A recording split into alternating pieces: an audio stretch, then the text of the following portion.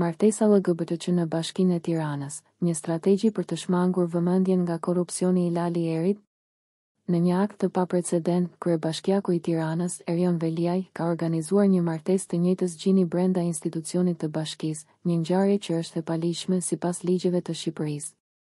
Ky akt, i përcjellë me shumë pompozitet dhe delikatesë nga mediat vizive dhe të shkruara, duket të jetë një përpjekje e mirëmenduar për të devijuar vëmendjen publike nga skandalet e korrupsionit të drejtorëve të bashkisë dhe vetë kryebashkiakut.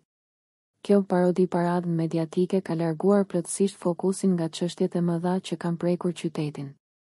Ndërkohë që Veliaj përdor priftërinj, imamë dhe figura fetare për të mbrojtur vlerat e familjes, realiteti është se këto vlera janë të kërcënuara nga korrupsioni dhe vjedhjet që ndodhin përditë në Bashkinë e Tiranës.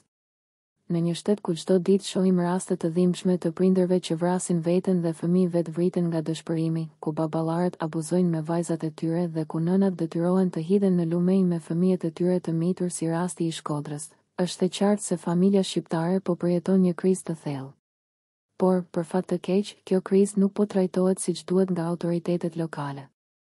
Në vend që të fokusohen në zgjidhjen e këtyre problemeve reale dhe të dhimbshme, Bashkia e Tiranës dhe mediat po shpërqendrojnë publikun me skandale artificiale dhe ngjarje të fabrikuara.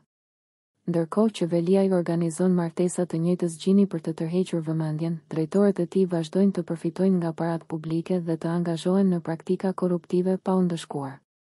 Populli shqiptar, i lodhur dhe i dëshpëruar, meriton më shumë se kaq.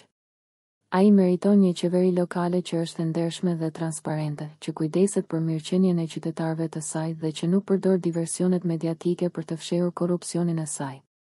Feja dhe vlerat familjare janë të rëndësishme, por ato nuk duhet të përdoren si mjete politike për të manipuluar opinionin publik.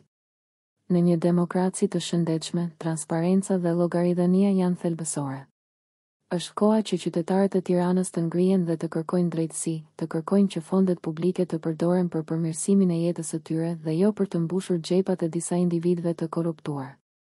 Vetëm atëherë mund të kemi një qytet që reflekton vlerat e vërteta të familjes dhe komunitetit, një qytet që është i denjë për të gjithë banorët e tij.